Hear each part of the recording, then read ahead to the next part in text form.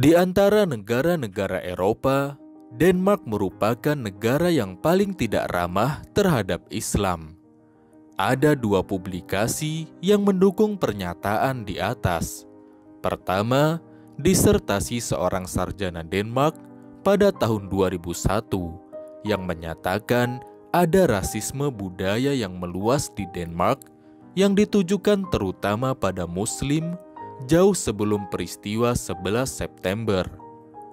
Kedua, laporan European Monitoring Center (EUMC) yang menempatkan Denmark pada urutan teratas daftar negara di mana terjadi peningkatan serangan rasial yang tiba-tiba terhadap minoritas.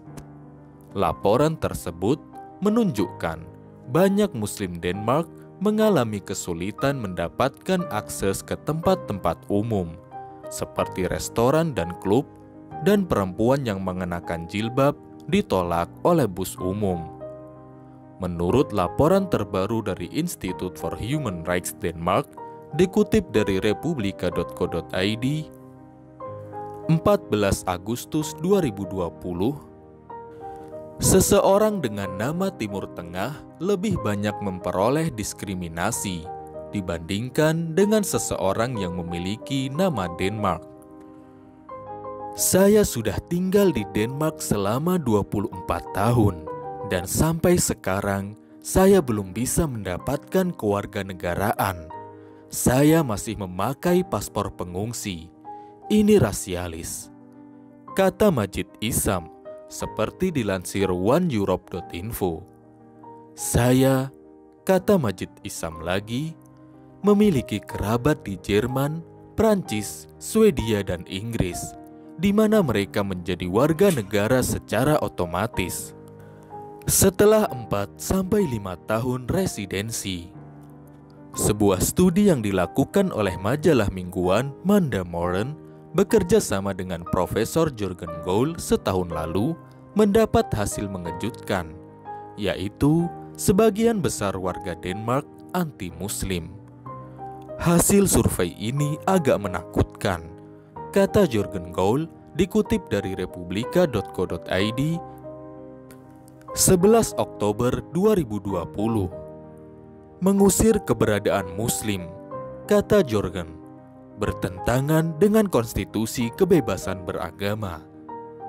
Fakta bahwa begitu banyak yang anti-Islam menurut Jorgen hampir sepenuhnya merupakan kesalahan elit politik.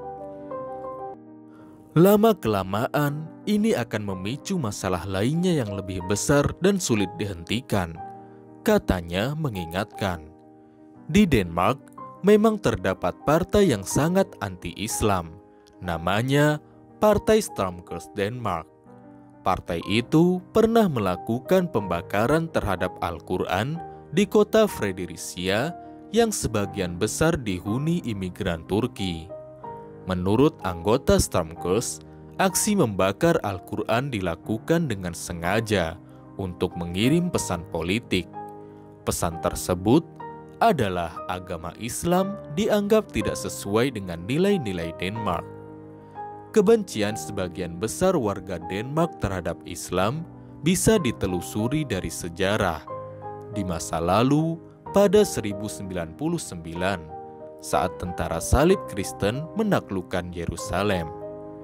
Sejumlah sumber dari berbagai biara yang ditempatkan di seluruh Denmark semuanya dengan cermat mencatat peristiwa tersebut dalam sejarah mereka dan selama abad berikutnya disebutkan partisipasi sejumlah tentara salib Denmark serta raja-raja Denmark yang mengambil bagian dalam perang salib melawan Muslim. Analisis khotbah abad pertengahan juga menunjukkan banyak orang Denmark mengenal Islam dan Muslim sebagai ancaman dunia Kristen. Menurut Wikipedia, kini terdapat 320 ribu Muslim atau sekitar 5,5 persen dari 5,8 juta populasi Denmark. Mereka mayoritas adalah imigran dari negara-negara Muslim seperti Turki, Pakistan, Bosnia, Irak, Somalia, dan Palestina. Salah satu tokoh penting dalam penyebaran Islam di Denmark adalah Abdus Salam Madsen. Ia adalah orang pertama yang menerjemahkan Al-Quran ke dalam bahasa Denmark pada 1966. Pada tahun itu pula, masjid pertama di Denmark dibangun, bernama Masjid Nusrat Jahan, yang berlokasi di Vigora. Saat ini, terdapat kurang lebih 170 masjid di seluruh Denmark. Setiap masjid biasanya didirikan oleh komunitas tertentu yang secara alamiah terbentuk berdasarkan latar belakang bangsa atau negara asal. Selama berpuluh-puluh tahun, masjid di Denmark hanya menggunakan gedung biasa tanpa arsitektur dan ornamen yang khas. Namun pada 2014, untuk pertama kalinya di Denmark, berdiri masjid yang dilengkapi dengan menara. Letaknya di ibu kota Denmark, Copenhagen, bernama Masjid Hamad bin Khalifa Civilization Center, HKCC. Tidak hanya masjid, di dalam kompleks seluas 6.700 meter persegi tersebut juga terdapat fasilitas publik, seperti ruang pertemuan, teater mini, dan pusat kebugaran. Masjid Hamad berada di distrik Nurebu, yang dikenal banyak dihuni oleh penduduk muslim.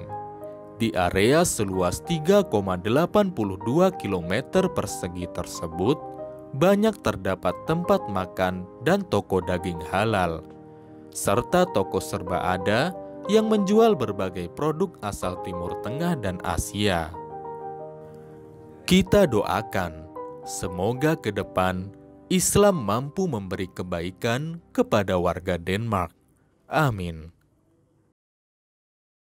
Assalamualaikum warahmatullahi wabarakatuh. Saya Chef Haryo. Kurban tanpa batas. Luaskan manfaat kurbanmu bersama BMH di antaranya melalui program dapur dadakan. Jadikan kurban Anda semua lebih bermanfaat karena daging yang diterima para santri dan masyarakat pedalaman tidak lagi dalam bentuk daging mentah, tapi olahan makanan yang siap santap. Kapan lagi kita hadirkan kebahagiaan seperti ini untuk saudara kita yang membutuhkan? Yuk, segera berkurban di BMH. Kurbanmu bahagiakan santri dan masyarakat pedalaman.